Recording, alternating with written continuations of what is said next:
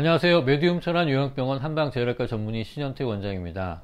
오늘 이 시간에는 구체적으로 밥상에서 염분 다이어트 하는 방법을 알려드릴까 합니다. 사실 과도한 염분 섭취가 건강에 안 좋다는 것은 상식이지만 문제는 실제 생활에서 실천을 하기가 어려웠었다는 건데요. 오늘 말씀드린 내용을 잘 기억하시고 실천해 보시면 의외로 소금의 대체 조미료도 있고 입맛을 길들이는 것도 충분히 가능하다는 것을 알게 되실 겁니다. 우선 식탁에서 타기 시대는 양념통들을 없애십시오. 사실 저희 집에는 소금보다 설탕통을 우선 해봤는데요. 아예 설탕을 사지 않고 최소한의 조청으로 활용을 했었더니 나중에는 설탕이 필요 없어지더라고요. 그리고 혀가 당분에 민감해져서 외식을 하더라도 설탕이 너무 많이 들어간 음식에 대해서 거부감이 생겼습니다. 자, 본론으로 돌아와서요. 첫 번째로 맛을 포기하지 않으면서 건강을 챙기는 비법은 감칠맛을 활용하시는 겁니다. 짠맛과 상승작용을 하는 것이 바로 이 감칠맛인데요. 국물 요리를 하실 때는 채소나 해물을 이용한 육수를 충분히 우려서 사용하시는 겁니다. 저희 집에서는 한꺼번에 만들어 얼려두고 쓰니까 편하더라고요.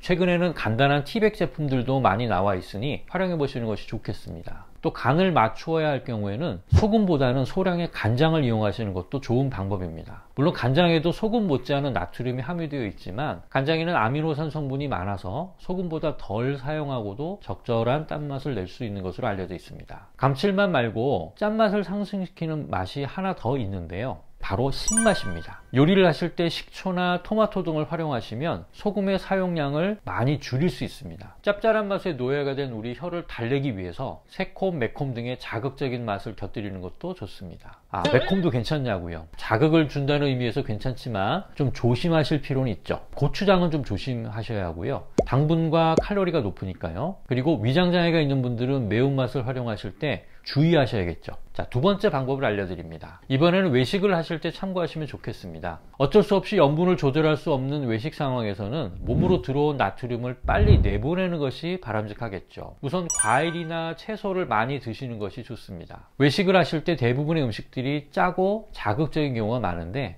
과도한 염분 섭취를 막기 위해서는 되도록 드레싱이나 양념을 하지 않은 샐러드 반찬이 있다면 다른 음식을 드시기 전에 충분히 미리 드시는 것이 좋습니다. 칼륨이 풍부하게 든 채소나 과일을 함께 먹으면 나트륨을 쉽게 몸에서 내보낼 수 있는데요. 특히 감자, 오이, 바나나 등의 칼륨이 풍부하게 들어 있습니다. 고기 회식을 하실 때도 채소를 미리 먼저 먹어서 배를 좀 채우시도록 하시고 고기를 드실 때도 소금이나 쌈장은 찍지 않고 고기 본연의 맛을 즐겨보시면 좋을 것 같습니다. 자, 그 외에 우유를 드시는 것도 도움이 되는데요. 채소에 비해서 뭐 적은 양이긴 하지만 우유에도 칼륨이 많기 때문입니다. 단 우유는 유지방과 칼로리가 높으니 기왕이면 우유보다는 채소가 나을 것 같습니다. 자, 다음으로 요리 외에 식탁에서도 염분 줄이는 팁을 알려드립니다. 가능하면 먹기 직전에 식탁에서 하시는 것이 좋습니다. 요리하다가 한 번씩 경 험해 보셨을 텐데요. 불 앞에서 소금 간을 할 때는 싱거워서 계속 간을 하셨는데 식탁에 가져오면 너무 짠 경험 말이죠. 음식이 뜨거운 상태에서는 짠맛을 잘 못 느끼니까 간을 짜게 하기 쉽습니다. 어느 정도 식은 상태에서 식탁에서 간장이나 소량의 소금을 쓰는 것이 낫겠습니다. 자, 이상의 방법들을 활용하셔서 염분의 섭취를 줄이실 때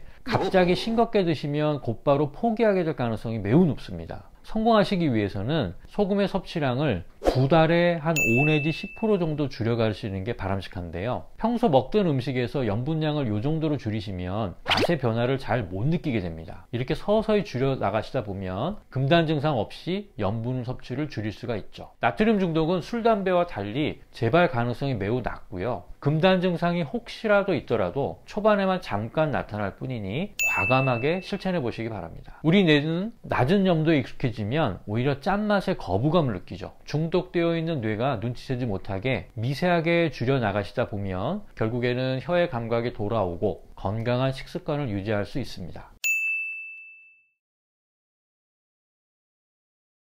식탁에서 염분 다이어트 꼭 실천해 보시기를 기원드립니다. 감사합니다.